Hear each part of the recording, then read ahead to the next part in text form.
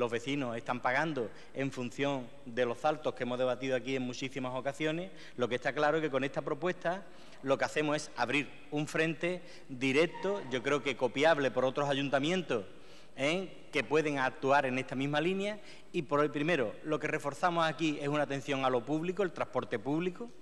La hemos hecho ya a nivel local con el tema del urbano. Yo creo que hemos hecho una apuesta clara en el tema del urbano también por mantener los servicios.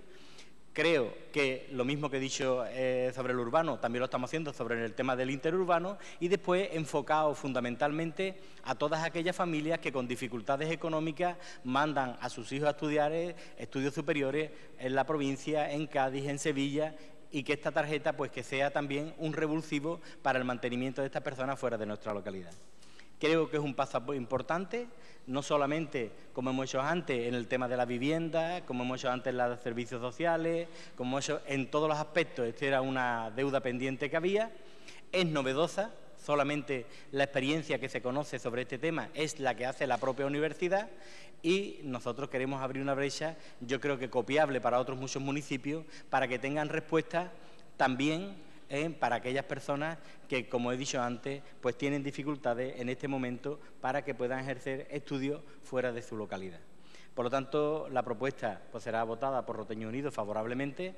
Agradecer las gestiones que se han realizado con el consorcio, la receptividad que ha habido y que esperemos que esta dinámica que se abre nuevamente pues tenga su relación en el tiempo mientras que dure el periodo de crisis. Nada más, muchas gracias. Muy bien, muchas gracias. Quiere intervenir el portavoz del Partido Popular. Tiene la palabra don Oscar Curtido. Muy bien, muchas gracias. Eh, pues bueno, como no puede ser de otra manera, desde el Grupo Municipal Popular estamos totalmente de acuerdo eh, y vamos a, votar a favor de esta nueva apuesta que hace este equipo de gobierno, pues por ayudar a todos los estudiantes roteños y que están estudiando actualmente pues fuera de la localidad, ¿no? Con la formalización de, este convenio entre el Ayuntamiento y el Consorcio Metropolitano de Transporte Valle de Cádiz, pues con esta formalización se permitirá a muchos jóvenes beneficiarse, eh, bueno, pues económicamente de, para no verse perjudicados por el desembolso que tiene que hacer por los continuos desplazamientos que haga hasta su punto de estudio, como puede ser pues Jerez, Cádiz o cualquier universidad pues fuera de, de, Rota, ¿no? Y también pues aquellas personas que están estudiando fuera de la localidad, no solo los universitarios, sino también aquellas personas que estudian pues un ciclo formativo de grado medio o bien de grado superior y que tengan edades comprendidas entre los 16 y los 25 años, que es un margen amplio para que todos los estudiantes se puedan beneficiar de este tipo de ayuda. Eh, asimismo, pues con este tipo de ayuda no viene solo, sino también, como se ha comentado anteriormente, pues viene acompañando también a esta línea de ayuda que se ha hecho por parte del equipo de gobierno también de promocionar lo que es el transporte urbano, ¿no? Y por ello también, pues dentro de esta tarjeta que se facilitará por parte del, Consorcio Metropolitano de Transporte y que, como bien se ha comentado, financia 100% e íntegramente con fondos municipales, 30.000 euros que se incorporarán al presupuesto municipal, pues también va una parte destinada para el uso y disfrute de lo que es el bus urbano, con una doble intención de lo que es ayudar a los jóvenes y sobre todo aquellas personas y familias más desfavorecidas que no vean mermada su capacidad económica para poder desplazarse a los distintos puntos de la provincia o aquellos distintos puntos que, eh, donde tengan que ir a estudiar, sino también pues, mm, fomentar el uso del transporte urbano como medio sostenible y el buen servicio que se ofrece desde el pueblo de Rota para todos los ciudadanos. Así que, como no puede ser de otra manera, pues el voto del Partido Popular, del Grupo Municipal Popular, pues va a ser favorable a esta propuesta.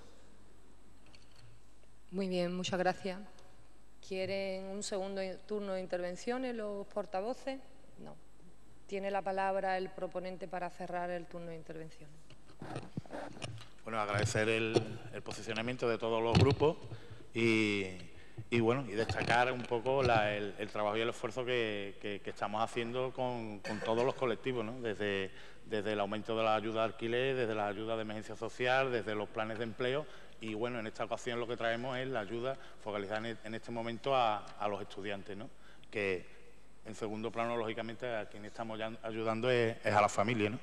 Ayudamos con el que actualmente está abierto el plazo con el, transporte urbano y, con la aprobación de, o la ratificación de, la firma del convenio que, se va a hacer con el Consorcio del Transporte, pues ayudaremos a los estudiantes universitarios, pero lo que está claro que a quien estamos ayudando es a los estudiantes a tener una formación y a, facilitar a las familias que, sus hijos puedan tener eh, eh, esa educación de calidad.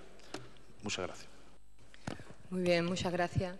En primer lugar, me gustaría felicitar al delegado de Juventud por esta iniciativa, por las gestiones que se han hecho, tanto por parte del primer teniente de alcalde, don Lorenzo Sánchez, como por parte del delegado de Juventud en el Consorcio de Transporte Bahía de Cádiz, porque yo creo que esta iniciativa es una iniciativa ilusionante para la gente joven que estudia fuera de nuestra localidad y para muchos jóvenes intentar cumplir con dos objetivos. Primero, la apuesta eh, y la defensa del transporte público por parte de las administraciones, en este caso del ayuntamiento, y también intentar por todos los medios ayudar a todas aquellas familias que en estos momentos están pasando por dificultades y que tienen hijos eh, estudiando y que tienen dificultades para eh, poder solventar algo tan básico como es el transporte, ¿no? para que puedan ir sus hijos a la universidad o puedan ir a los institutos. Yo creo que es importante poner en valor cuál es el objetivo de este equipo de gobierno. este equipo de gobierno tiene un objetivo prioritario para esta legislatura, que son las políticas sociales. Esta es una más de todas las que hemos trabajado durante estos últimos años. Estamos hablando de cocina solidaria, estamos hablando de atender a las familias que están pasando por dificultades en estos momentos. Y cuando hablamos de cocina solidaria, estamos atendiendo pues, un número importantísimo de personas que pasan temporalmente por una situación de precariedad. Estamos hablando de las ayudas económicas familiares, a las que atendemos infinidad de familias e intentamos por todos los medios pagarle luz, pagarle agua, el gas butano. Estamos hablando de las ayudas económicas a libros, intentar por todos los medios que las familias que lo están pasando peor, intentar que no vaya en detrimento de la educación de sus hijos. Estamos intentando por todos los medios con el material escolar también a través de servicios sociales a través de eh, SURSA, de la, Delegación de Vivienda, las ayudas eh, al alquiler, a la promoción del alquiler, con el que se cumplen también otros objetivos. Es decir, no solo estamos ayudando a muchas familias a pagar hasta el 50% de, de ese alquiler de esas viviendas, sino que también estamos promoviendo que muchas familias que vivían de esa renta, de ese piso que tenían, para intentar levantar un poco su economía, pues existen muchísimo eh, eh, número de viviendas importantes que estaban eh, desalojadas y que gracias a este protocolo de ayuda de alquiler estamos promoviendo que estas familias también tengan la oportunidad de alquilar sus viviendas. Estamos hablando de las ayudas a las asociaciones, desde Cáritas, Humildad y Caridad, saber que se puede, colaboración con las bolsas de caridad de las distintas hermandades, con la congelación de los impuestos, con el fraccionamiento de los impuestos, con los planes de empleo que llevamos ya 12 planes de empleo puestos en marcha. Este último se ha anunciado hace unos días y termina el plazo el día 31. Inmediatamente después, a través de la empresa municipal Arensa, con la puesta en marcha de la Bolsa de Trabajo para eh, la puesta en marcha de las playas de Rota. Es decir, con todo este cúmulo de acciones enfocadas a ayudar, a aliviar a todas aquellas familias que por estos momentos lo están pasando mal. Existe un compromiso por parte del Gobierno municipal. Me gustaría transmitírselo y agradecer el posicionamiento de todos los grupos con esta iniciativa que se va a llevar a cabo a través de la Delegación de Juventud y invitar a todos aquellos ciudadanos que necesiten de esta ayuda del Ayuntamiento a que la soliciten. Votos a favor de la propuesta.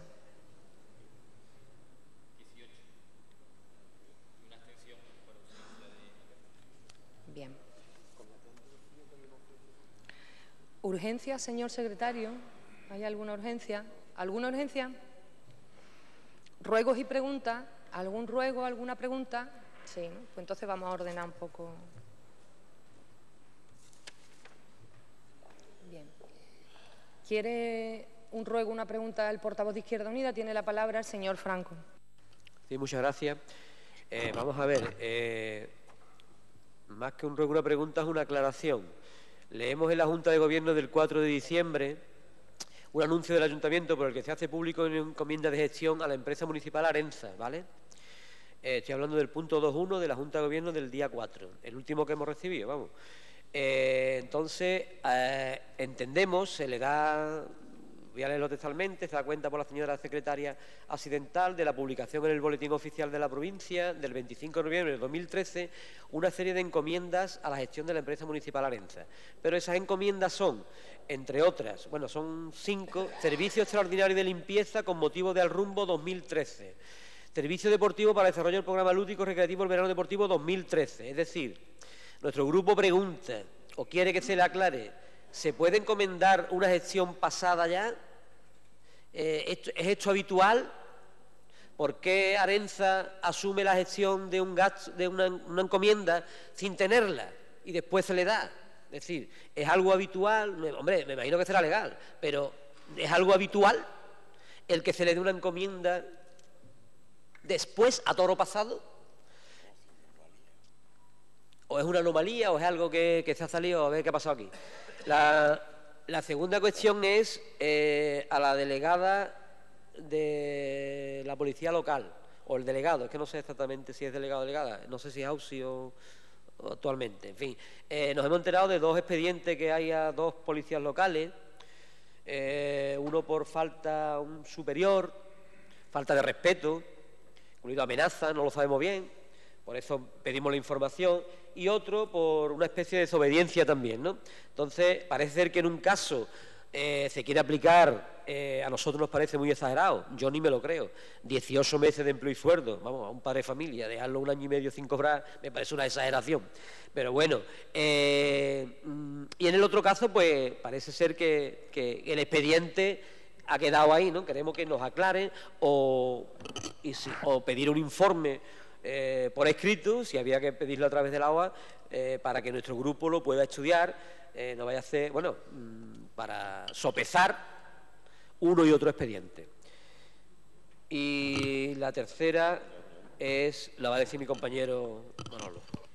Bien, muchas gracias. es indistinto un ruego o pregunta. Si es pregunta, tendrá, culminará con la interrogación y si no, con un ruego, hacer, eliminen los obstáculos. Hablo de la Asociación Humildad y Caridad, que, bueno, conocemos de la acción humanitaria, la acción solidaria que están mm, desempeñando hacia familias desfavorecidas roteñas. Eh, eh, conocemos de primera mano el papel que está realizando. Llegan a más de 40 familias. Eh, están conformando una especie de banco de alimentos y, otro, y otros productos de primera necesidad. Eh, y están necesitando de un espacio propio. Tenemos noticias por, por ellos, porque así nos lo plantean, de que tienen una respuesta favorable del equipo de gobierno en, en algunas salas de la antigua cárcel, junto al arco de reglas. Pero nos plantean que desconocen eh, las razones, las causas que están impidiendo el que ya puedan ocupar ese espacio, esa sala, porque bueno, tienen eh, eh, habitaciones de su domicilio abarrotadas de productos de alimentación y de limpieza y bueno, nosotros estamos cediendo temporalmente parte del salón porque es que ya no tienen lugar donde alojar eh, tanto como recaudan y aún saliendo todas las semanas bolsas de alimentos a más de 40 familias. O sea que hay un, eh, entrada y salida.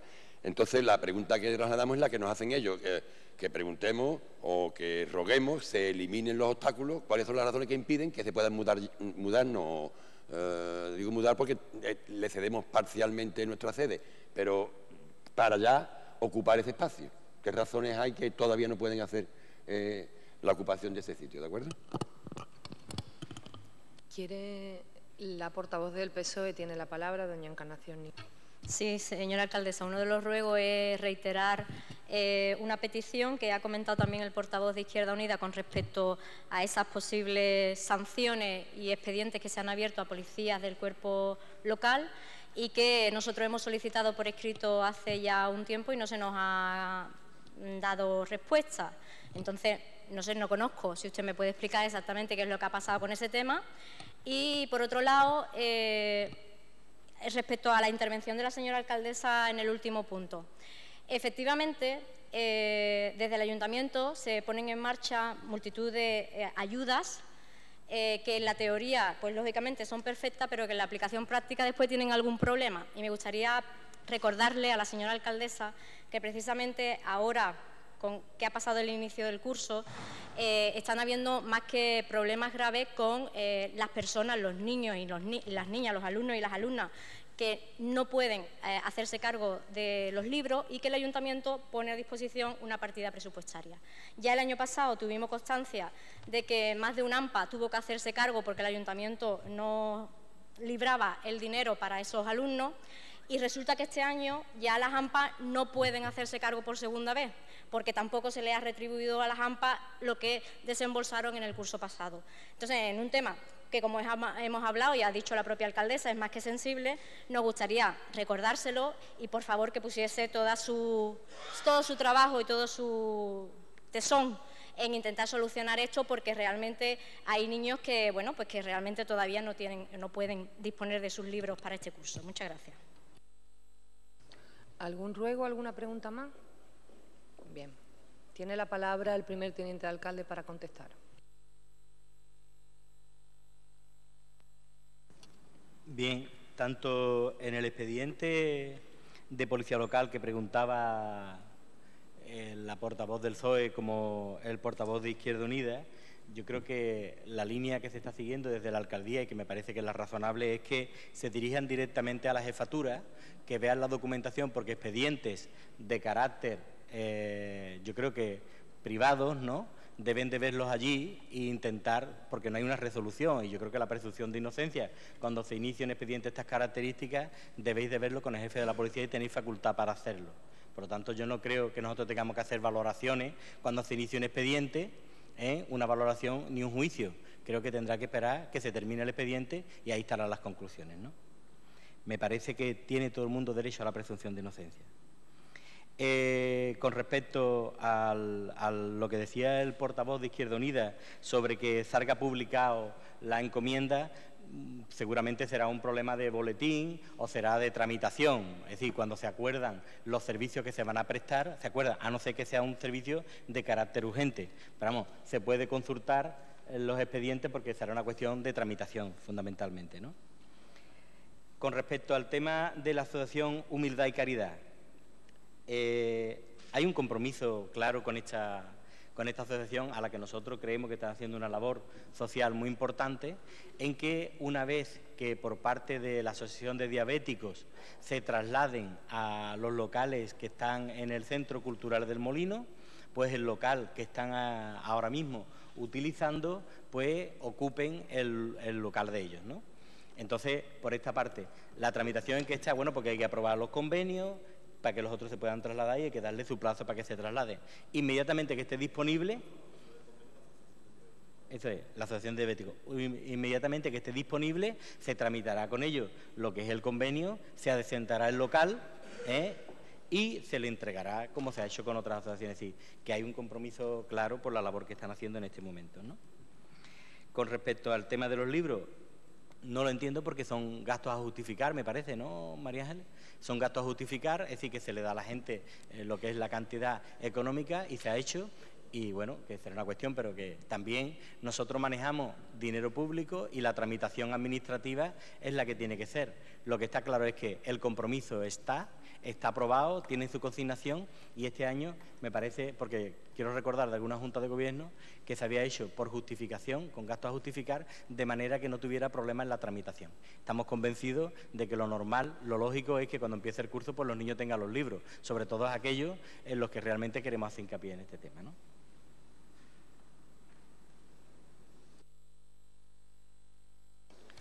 Muy bien, muchas gracias. Se levanta la sesión.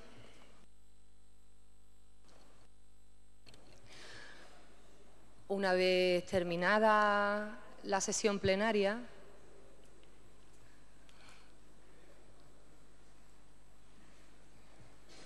Una vez terminada la sesión plenaria y tal y como este pleno aprobó la modificación para la regularización, regular de alguna manera las intervenciones de los ciudadanos que, o representantes que quisieran eh, intervenir en este pleno.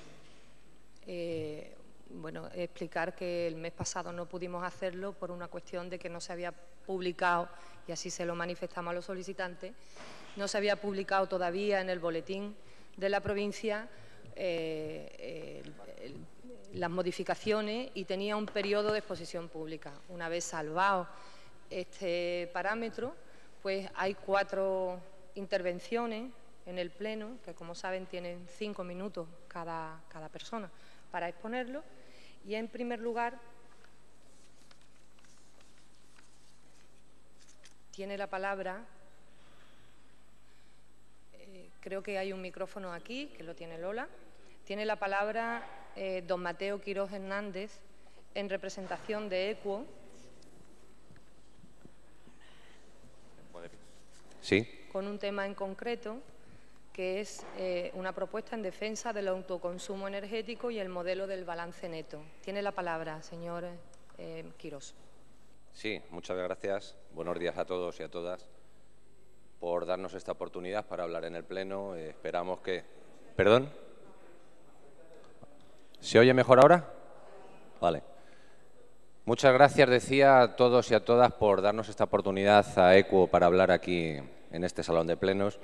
Esperamos que la participación ciudadana sea algo normal y cotidiano en este Salón de Plenos y no algo anecdótico, como venía siendo hasta ahora. Mm, es un orgullo para nosotros iniciar este nuevo modelo de participación ciudadana en el cual hemos venido trabajando junto, junto al Bloque Ciudadano de Rota durante ya año y medio y quiero agradecer que por unanimidad se aprobara el cambio del artículo 141 del Reglamento Orgánico de Funcionamiento a todos los concejales aquí presentes. Bueno, explicar el sistema eléctrico de nuestro país en cinco minutos es tarea realmente imposible, pero bueno, vamos a intentar decir al menos algunas verdades y ya sabemos que decir la verdad en tiempos de mentiras continuas es un acto revolucionario. Seamos pues rebeldes. Es verdad que cuando todos los aquí presentes recibimos el recibo de la luz, mm, nos da cierto miedo abrirlo. Desde hace ya varios años viene subiendo de forma desmesurada, creemos. Y al abrir la factura es verdad que muchos decimos, pero si no he puesto la calefacción, si he cocinado lo justo, si tengo bombillas de bajo consumo, si tengo al mínimo la nevera. Yo les puedo asegurar que en las mesas informativas que ECO ha puesto durante estos tres meses por las calles de Rota, el 100% de los ciudadanos, de las decenas de ciudadanos que han pasado por estas mesas, así nos lo han hecho saber. ¿Y por qué tenemos este recibo de la luz tan caro, el más caro de Europa después de Malta y Chipre? Pues bien, si observamos que desde el 2007 en todos los años está bajando un 3% de media el consumo eléctrico con respecto al año anterior, se podría pensar que en un sistema capitalista donde la oferta y la demanda ponen el precio de mercado a menos demanda, lo lógico sería que la oferta fuera más barata, es decir, que la luz fuera bajando. Si cada vez se consume menos, debería de bajar el precio. Pero el mercado eléctrico no está dentro de un mercado normal, es un mercado en oligopolio, donde las cinco empresas más fuertes, Sevillana Endesa, Gas Natural Fenosa, Iberdrola, E.ON y EDP Hidrocantábrico ponen los precios, escriben las reglas y crean las puertas giratorias para dar acomodo laboral a los legisladores que se portan bien con ellas. Esa es la realidad. Las materias primas con las que producimos electricidad, electricidad han subido, eso es cierto, y subirán aún más, porque es imposible el consumo infinito en un planeta que es finito. Gas, petróleo, carbón, uranio han subido desde 2007 pero no son la única clave de esta subida en la factura. Sin entrar en pormenores por falta de tiempo, solo voy a decir tres. El primero es el pago por capacidad. Hay 27 centrales de ciclo combinado de gas en España que se han creado desde 2002, presuponiendo que la, la demanda aumentaría hasta el infinito y ahora producen solamente el 12%, con lo cual no es posible amortizarlas. Y además la ley regula un pago de 1.200 millones de euros al año que todos los aquí presentes pagamos por el simple hecho de que existan estas centrales de ciclo combinado de gas, aunque no produzcan energía. También existe el pago por interrumpibilidad del servicio, que pagamos todos los aquí presentes 700 millones de euros al año para que los grandes consumidores, Altos Hornos, siderurgias, empresas del automóvil sean las primeras en tener cortado el suministro si el exceso de demanda sí obligara a cortarlo.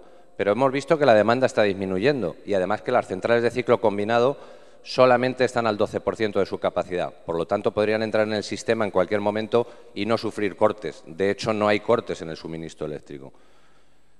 Este pago, en realidad, lo que es es un descuento encubierto a los grandes grupos consumidores, a costa del resto de la ciudadanía que pagamos los 700 millones. Y, por último, explicar que en el año 97, cuando se produjo la supuesta liberalización del sector eléctrico, el Gobierno de entonces, el Gobierno de Aznar, favoreció un cambio en el sistema regulado pagando a las compañías 3.400 millones de euros para ir al sistema de mercado libre, entre comillas libre, en el que estamos ahora mismo. Pues bien, ese pago de 3.400 millones de euros deberían haberlo devuelto las eléctricas, era un pago adelantado, los costes de transición a la competencia, que todos hemos oído hablar, lo tenían que haber devuelto en el mes de julio y al Gobierno actual, también del Partido Popular, se le ha olvidado pedirlo. Todos estos sobrecostes inciden directamente en la ciudadanía, cuyo 10% vive actualmente en la pobreza energética. No pueden poner la calefacción, no pueden usar la energía nada más que lo justo para cocinar y alimentarse. En Rota esta cifra supone unas 2.500 personas afectadas por este problema. Pero no solo le incide a ellos, nos incide a toda la ciudadanía, a todo el conjunto de la sociedad, dado que aunque podamos pagar la energía, eh, las pequeñas y medianas empresas, sus clientes no vienen con el dinero suficiente para poder pagar los productos porque lo están gastando en la, en la electricidad. Y a su vez el ayuntamiento también paga las facturas desproporcionadas de la luz con lo cual no obtiene los recursos necesarios para los servicios sociales pagando esta energía tan cara. Además, la reforma del sector eléctrico tiene un grave, que está ahora mismo en el Congreso, tiene un punto muy grave que creemos gravísimo, que es el impago a colegios y a centros sanitarios, que hasta ahora no se podía cortar por falta de luz. ¿Cómo podemos convertir este círculo vicioso en un círculo virtuoso? Pues bien, igual que las materias primas que he dicho antes, gas, petróleo, carbón y uranio, suben de precio y se agotarán, el sol, el viento, la biomasa, la geotermia, las mareas, son y siempre serán gratuitas. Andalucía y Rota en particular deberían ser la Arabia Saudí de las energías renovables. Tenemos sol miles de horas al año. Tenemos viento que cuando no sopla de poniente, sopla de levante mareas relativamente importantes y biomasa del desbroce de los campos agrícolas. La tecnología, la investigación y desarrollo y las economías de escala, al construirse miles de unidades de paneles fotovoltaicos en el mundo, han conseguido que dichos paneles hayan bajado un 80% de su precio. El coste de crear las infraestructuras es mínimo porque los edificios ya están construidos, donde poder poner la mini eólica para poder generar con viento y los paneles fotovoltaicos. Las renovables han, aportado el 40% de la producción eléctrica en lo que va de año. Incluso el 28 de marzo, que sepamos todos los aquí presentes, supusieron el 100% del consumo eléctrico de España, solo con energías renovables. Con este ahorro, que suponen importaciones de materias primas que no tenemos, a cambio de utilizar las que sí que tenemos de sobra, se ahorraría un dinero para poder poner en práctica una política social acorde con un estado del bienestar que nos quieren hurtar. Esta actividad industrial además generaría empleo local, dado que se implementa en pequeñas centrales eólicas o fotovoltaicas a nivel municipal y en instalaciones individuales o colectivas en viviendas unifamiliares con autoconsumo. Se necesitarían empresas que contraten ingenieros para construir los paneles, mano de obra, instaladores, mantenedores, que unidos a los trabajadores de la construcción ahora mismo en paro, en rota, podrían emplearse en el aislamiento y eficiencia energética de los edificios, impulsando una mejora de empleo local y todas pensas de una cosa solo, de producir electricidad para autoconsumo con balance neto, ahorrando costes en las facturas. Por todo ello, solicitamos de, estos grupos, de todos los grupos municipales que hagan suya esta moción y eleven a pleno para ser aprobada, como ya ha sido en la Diputación de Zaragoza y en su ayuntamiento, en Santa Cruz de Tenerife, en Toledo, en Cáceres, en Puerto Real, en Jimena, en Ginés en la provincia de Sevilla, en Orgiva en Granada, en Vélez Málaga y en decenas y decenas de pueblos esta moción con los siguientes acuerdos. Primero, mostrar el rechazo al anteproyecto de ley de la reforma del sector eléctrico que ha aprobado el Gobierno e instar al Gobierno del Estado para que deje de bloquear y de posponer la regulación de autoconsumo con balance neto y lo legisle definitivamente. Segundo, emplazar al Gobierno a respetar los compromisos adquiridos en materia de reducción de emisiones de gases de efecto invernadero, impulso a las energías renovables y, fomento del ahorro energético. Tercero, instar a la Junta de Andalucía, en concreto a la Consejería de Economía, Innovación, Ciencia y Empleo, a través de la Agencia Andaluza de la Energía, a promover las instalaciones de autoconsumo y el derecho a autogeneración energética en Andalucía, permitiendo a cualquier persona, empresa o institución convertirse en productor y autoconsumidor de electricidad, garantizando el balance neto y un modelo energético de generación distribuida.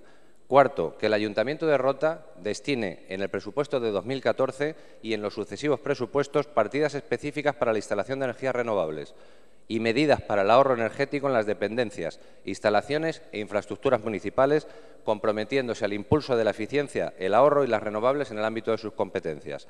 Quinto, que el Ayuntamiento de Rota apruebe la bonificación del 50% del impuesto de bienes inmuebles eh, en los que hayan instalado sistemas para el aprovechamiento eléctrico de la energía proveniente del sol durante los diez años posteriores a su instalación.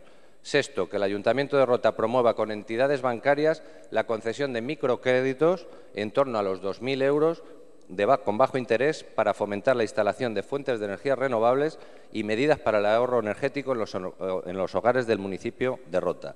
Y séptimo y último, comunicar a los presentes eh, los presentes acuerdos al Gobierno de España, al Consejo de Gobierno de la Junta de Andalucía, a la Plataforma por un Nuevo Modelo Energético, a la cual pertenezco también, Asociación de Productores de Energías Renovables y UNEN Española Fotovoltaica. Esta es la moción que ya digo en decenas de ayuntamientos y la Diputación Provincial de Zaragoza en su pleno ya han aprobado y ruego a cualquiera de los grupos municipales o a todos que la, que la implemente para otra sesión plenaria y, por supuesto, que la apruebe. Muchas gracias. Muy bien, muchas gracias.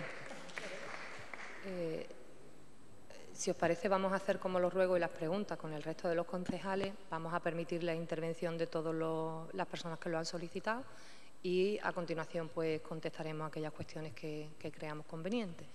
Lo que sí rogaría, por favor, que nos ajustáramos al tiempo, ¿eh?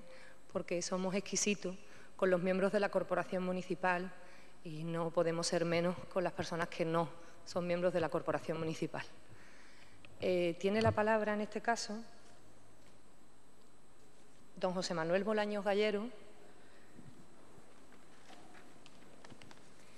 que quiere eh, comentarnos sobre eh, la instalación de, de, un ascensor en la barriada 512, en concreto en el bloque donde usted vive. ¿verdad? Tiene la palabra don José Manuel.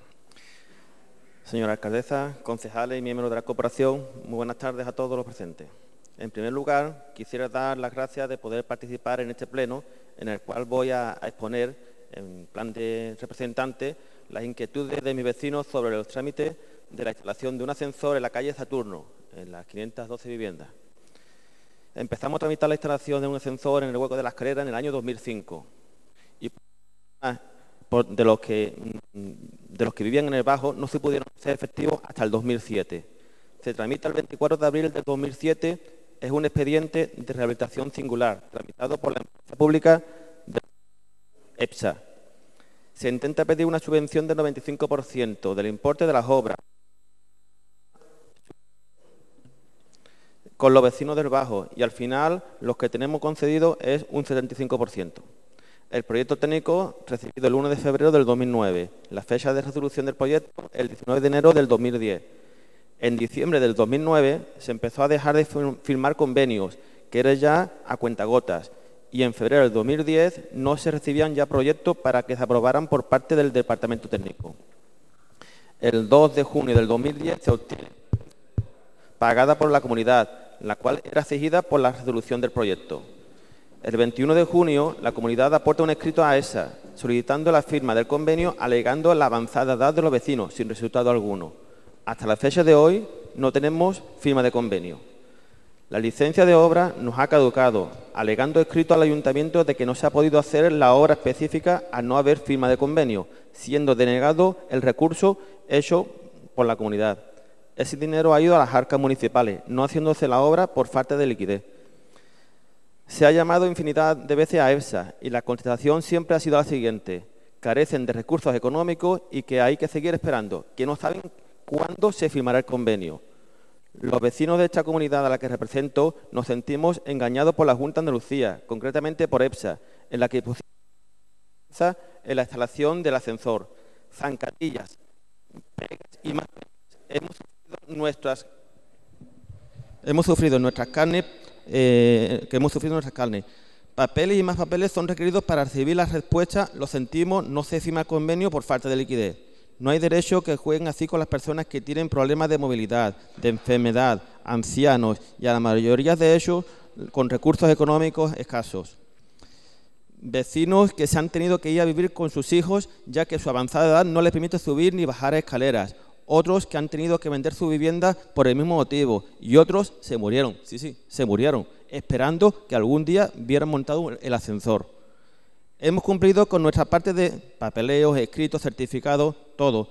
Sufrimos zancadillas, pero nos levantamos y, y no le bajamos la cabeza y continuaremos y continuaremos y no pararemos hasta que el ascensor esté montado. Empezamos en el 2005 y estamos en el 2013 y seguimos igual que al principio. Son ocho años luchando por una causa que no se le ve principio. El colmo, de, el de todo fue cuando en la calle Cibeles, a las partes donde, donde vivimos nosotros, ayudamos a la instalación de un ascensor. La tramitación del ascensor la hice yo mismo. Fue posteriormente a nuestro. Y ese ascensor ya ha montado dos años. Parece ser que el nuestro lo han dejado en olvido. Ascensor que llega hasta la azotea y el nuestro solo hasta la tercera planta, siendo el mismo edificio. Curioso, no hay quien, no lo entienda. Por eso, eh, por todo lo expuesto anteriormente, es por lo que solicito el apoyo de la Corporación Municipal. Nos eche un cable y solucionar este gran problema que tenemos desde el año 2005. Muchas gracias. Muy bien, muchas gracias. Eh, el siguiente turno de intervención es para la representante de Primavera Andaluza, doña Lourdes María Couñago Mora. Sobre la declaración de rota libre de desahucio. Tiene la palabra. Eh, bueno, buenas tardes ya, a señora alcaldesa, señoras y señores concejales. Esto impone un poco, ¿eh? Lo digo desde ya, impone un poco, se ven las cosas diferentes cuando está aquí uno sentado. Bueno, yo no voy a leer porque es que lo mío es muy sencillo, porque os he dado la vara con el documento, yo creo, a medio país y a medio Rota y a medio pueblo. En el mes de octubre sacamos el documento a la calle de Rota Municipio Libre de Desahucios.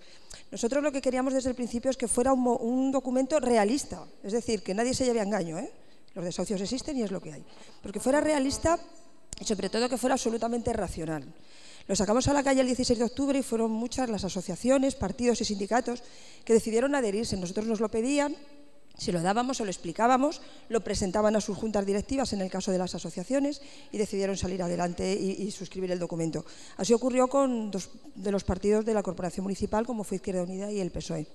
En vista de que no sabíamos nada de Roteños Unidos y del PP, que hombre, sois 14, con lo cual era fundamental y básico contar con vosotros. Pues os entregamos una carta el día 11 de noviembre, llegamos a, ese encuentro, hablamos con vosotros. Sí que es cierto que mm, hemos visto que hay muchísimas, son muchas las cosas que se están haciendo desde el ayuntamiento, ¿eh? tanto como nos comentó los representantes del PP como los de Rotoños Unidos, son muchas las cosas que se están haciendo. Nosotros con este documento no pretendemos ni quitar nada, ni decir que no se vale nada de lo que se ha hecho hasta ahora, porque es mentira. Con eso se está haciendo mucho. Lo que queremos es mejorar, incluso prevenir, porque realmente las cosas que lo que está por venir no tiene muy buena pinta, no pinta demasiado bien.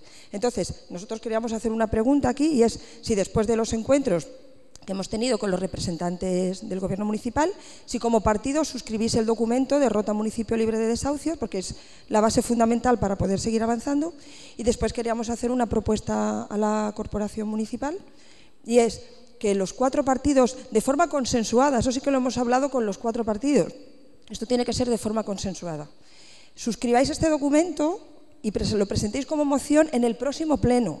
Este u otro mejorado, ¿eh? porque siempre es mejorable, esto es una base, este u otro mejorado. Y que para ello, pues hombre, que contéis, porque sabemos que en el pleno de febrero del 2012 se aprobó la creación de una comisión para el tema de los desahucios, porque contéis con ellos, ¿no? Y también que contéis con servicios sociales, porque en última instancia son ellos los que van a decidir quiénes son las personas, porque son los que conocen la realidad de las familias roteñas, ¿no? Los que van a decidir quiénes son las personas que puedan recibir estas ayudas o no.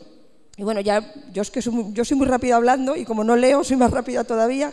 Ya una última apreciación de unos segundos. Bueno, es la primera vez que un miembro de Primavera Andaluza participa en un pleno en toda Andalucía.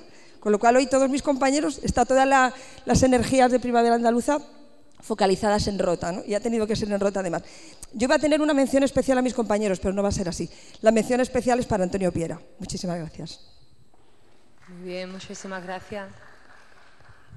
Para finalizar este turno de intervenciones, tiene la palabra don, don Manuel Izquierdo Niño, que quiere intervenir sobre el deterioro del Parque Manolo Liaño. Tiene usted la palabra.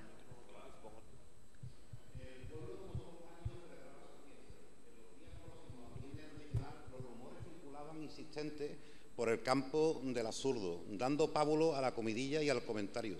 Sin que una visible oposición justificase tal actitud, ya se hacían anuncios por algunos fieles de furibundos arrestos varoniles que predecían la violencia si alguien se atrevía a impedir que el Señor, bella imagen anónima, morena y cenceña, recortase su triste figura de magnífica expresión dolorida por las calles del blanco pueblecito, saturadas del perfume vigoroso y confortante de la naciente primavera.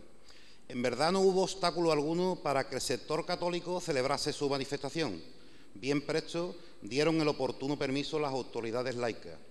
Ningún inconveniente tampoco por parte de los elementos ajenos a cualquier disciplina religiosa. Nada, que acusase intención perturbadora, más bien una elegante indiferencia ante la alegre exhibición de sentimientos eh, recatados e íntimos que abandonaban la quietud silenciosa del templo para irrumpir en el bullicio vagano de la calle.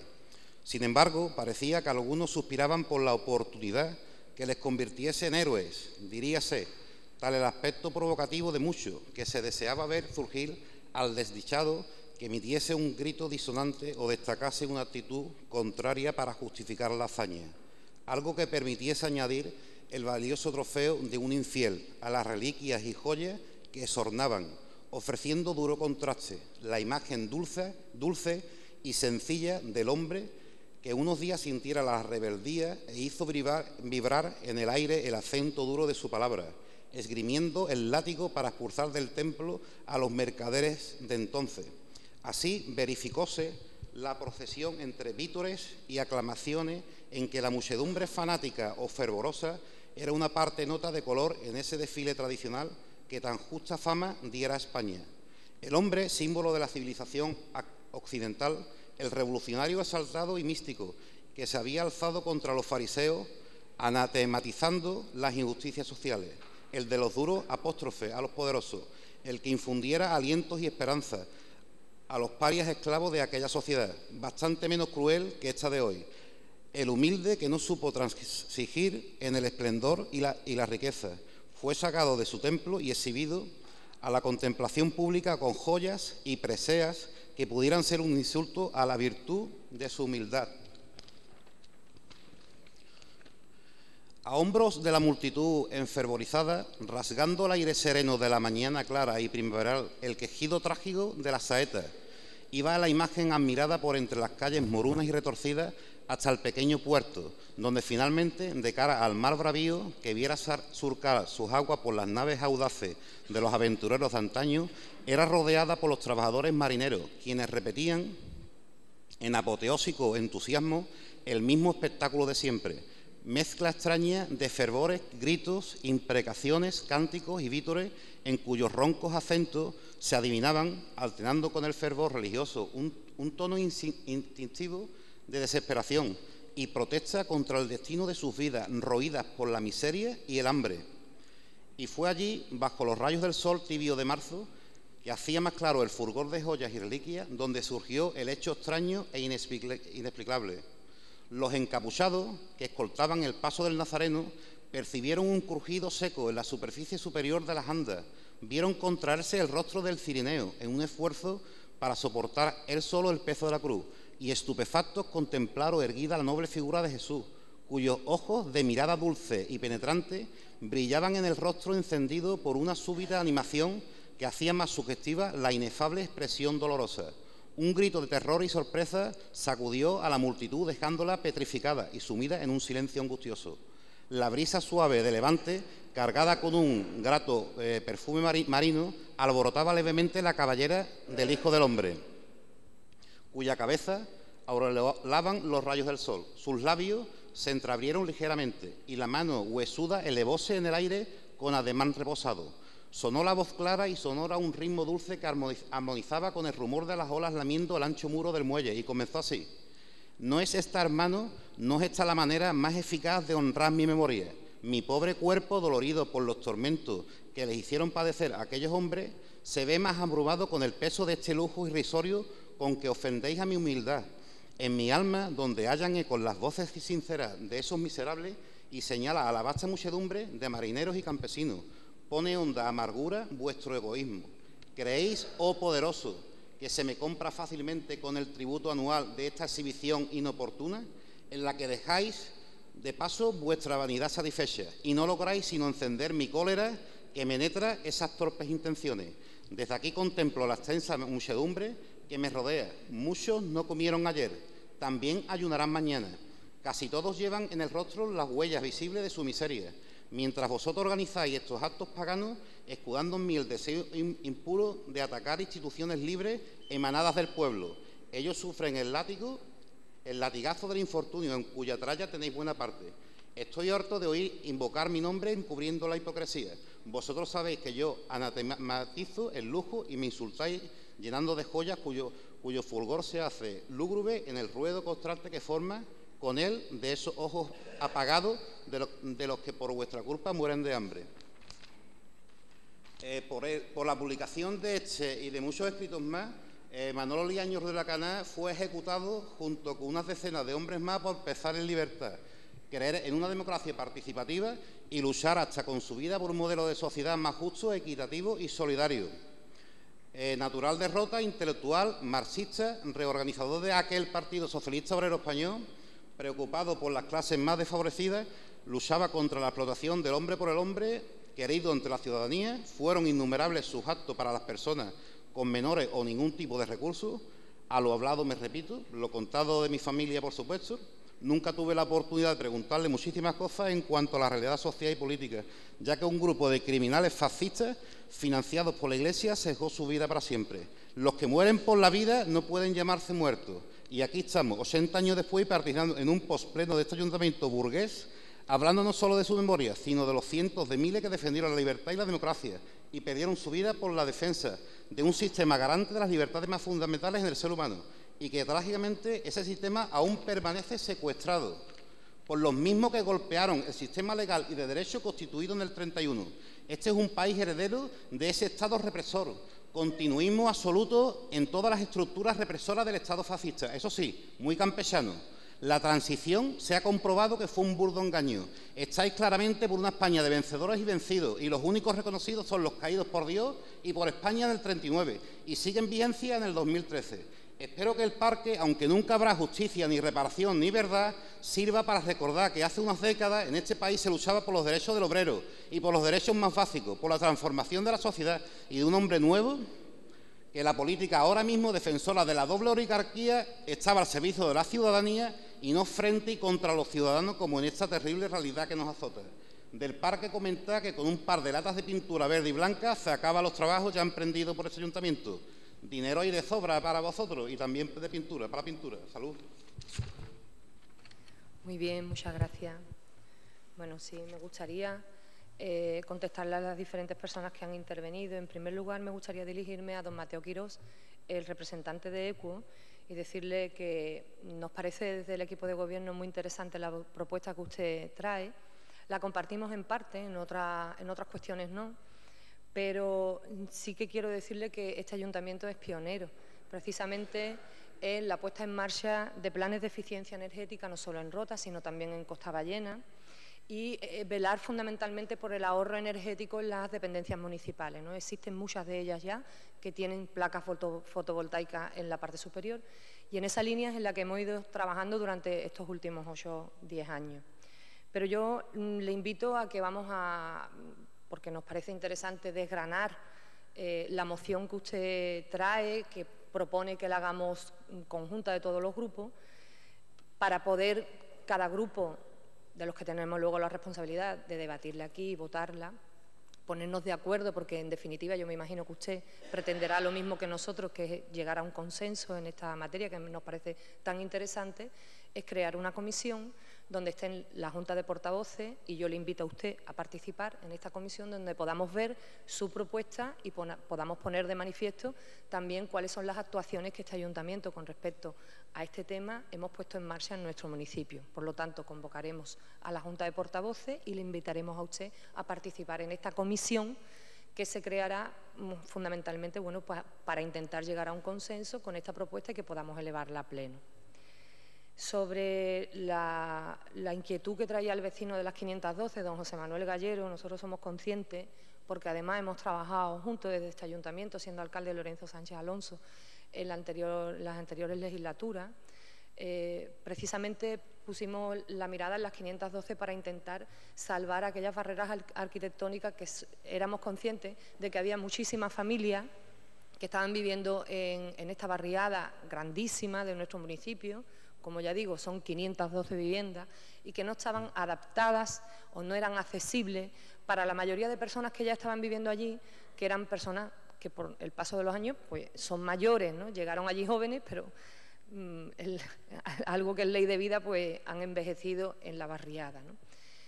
Y su proyecto precisamente se llevó como proyecto piloto, y usted lo sabe, desde el ayuntamiento le dijimos desde el principio que íbamos a ayudar para intentar por todos los medios eh, paliar la economía de los vecinos que, viven allí en, ese momento y ese proyecto pues llevó un derrotero que se fue directamente a través de la EPSA y mm, bueno, hemos, vosotros habéis sufrido y nosotros con vosotros. Eh, pues la, yo, yo, no sé ni cómo explicarlo, porque ha habido proyectos, como usted ha explicado, que ha ido directamente por la consejería y se han saldado y ha habido proyectos que han ido directamente de la mano de la empresa pública de Suelo Andalucía y ahí está usted todavía, que no tiene ascensor y que no tiene posibilidades además. Lo que vamos a proponer, lo que yo le propongo, es que vamos a convocar una junta de portavoces para eh, eh, elevar una propuesta conjunta para exigir a la Junta de Andalucía que le dé una solución definitivamente ya a su problema, especialmente a la EPSA pero vamos a poner en conocimiento, además, esto, que ya lo hemos hecho anteriormente desde la empresa municipal de Sursa, que hemos trabajado con usted, eh, ponerlo en conocimiento también de la consejería, porque no entendemos que después de tantos años transcurridos, es verdad que ahora mismo la situación económica es mala, pero es que ustedes llevan padeciendo esta dejadez eh, pues mucho tiempo. ¿eh? Y vamos a intentar por todos los medios, entre todos los grupos, hacer la presión necesaria para que los vecinos de su bloque puedan definitivamente poner en marcha el asesor tan necesario para la accesibilidad.